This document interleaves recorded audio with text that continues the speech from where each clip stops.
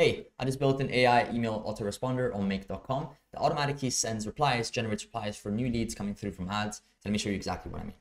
So in case we get new emails, it says, hey, new lead form submission, It says, hey, make new lead came from ads. Here are the details. We have the details of the lead, name, email, location, and desire. What they actually want? So now we have to, in theory, manually reply to them and give them an email based on what they wanted. In this case, we do it automatically. So if I go here and I send myself an email just to test,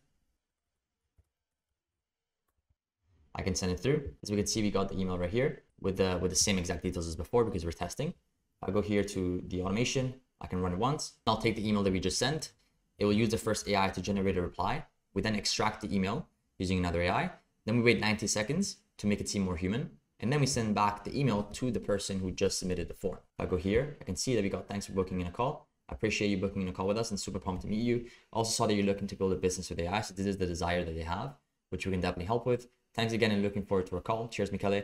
And it says, PS, went to London a while back, loved it. This is even more personalization based on the answers that they added. Now, this automation is great for any business which has new inquiries coming through from email and they have to respond every single time to make sure that the lead is nurtured, to make sure that the lead actually is followed up with. And I actually made a full step-by-step -step video showing you how I built it from scratch. If you want the full breakdown, make sure to check out the first link down below.